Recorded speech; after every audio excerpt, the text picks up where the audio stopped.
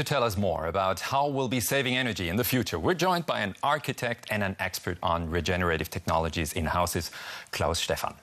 Hello. Now, the hotel we just reported about can actually cut down greenhouse gas emissions by 400 tons every year. That means we can do a lot for climate protection on a smaller scale. Yes, indeed, we have to. Yeah.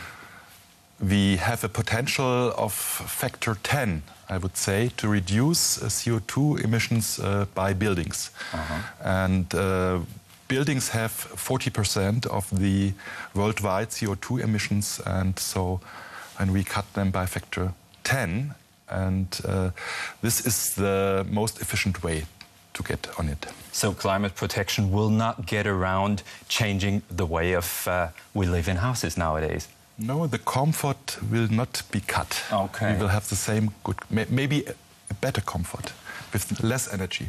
Maybe one way is what we just seen in the report, the geothermal energy system. It seems quite simple, actually. They drill down Yes, yes. 30 meters. Is it always so simple, or what are your experiences? Well, our Earth, planet Earth, is a very hot planet inside, and that's uh, uh, potential.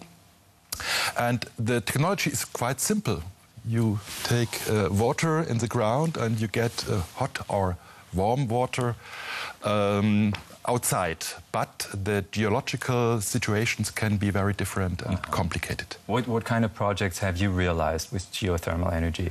Yes, for example, we recently realized a kindergarten, and um, this uh, use is using uh, geothermal energy just one meter below the ground, and that's not expensive at all. But that, that means you need a house which uses just very little energy on a That's passive it. house That's standard. Yes. You're an expert on that field. Yes. What's, what's your trick? Uh, it's the thick pullover.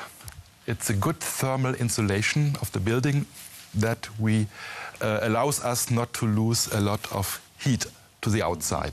So we have triple glazing, uh, which has the same effect, and we have a heat recuperation by the ventilation system.